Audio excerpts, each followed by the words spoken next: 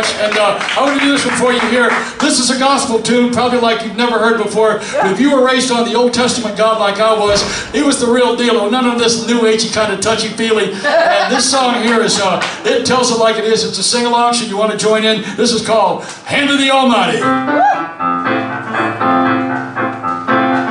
Well now, sinner, do not stray from your straight and narrow way. You know yeah. that the Almighty's watching you.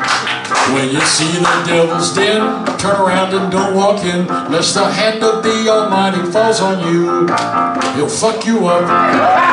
That's your part there. He'll fuck you up. Yeah, God will fuck you up.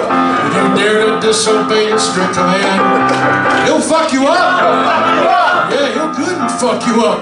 You better straighten out while you can. Long ago, a man named Lot had a wife he thought was hot. She would not change those evil slut-like ways. You know it was her own damn fault when God turned that bitch to salt. That's the way he did in those olden days. He fucked him up. Oh Lord, he couldn't fuck him up. And the people tried to turn their backs on him. He'll fuck you up. I'm telling you, he'll fuck you up. You better straighten out while you can.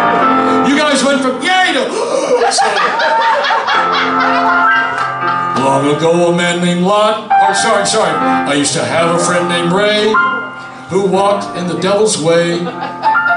He cursed and drank and broke his neighbor's fence.